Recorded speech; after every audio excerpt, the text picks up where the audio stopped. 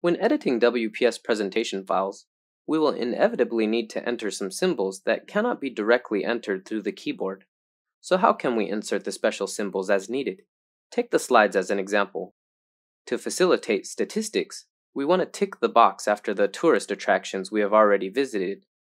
Click where we want to insert the symbol, click the Insert tab, and the Symbol drop-down button. Here we can see Recently Used Symbols and Custom Symbols.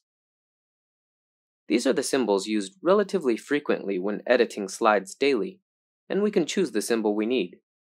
In addition, click More Symbols to pop up the Symbol dialog, which contains more symbols. Get into the Symbols tab.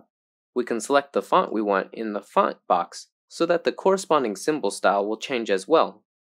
In the Subset drop-down button, we can quickly position the symbol by switching the categories of the symbol.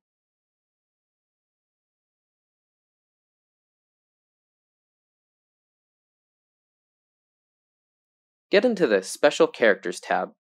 We can see some relatively infrequent symbols, such as copyright, registered, trademark, and so on.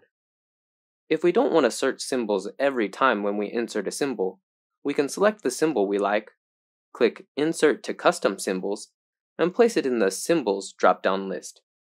This will make it easier for us to use the symbol. If we still think this method is not convenient enough for us, we can get into the Custom Symbols tab, select Tick, and place the cursor in the Shortcut Keys edit box. Press Ctrl 0 and click Specify Shortcut Keys to complete the setting. We can quickly enter the tick symbol with the shortcut Ctrl 0 later.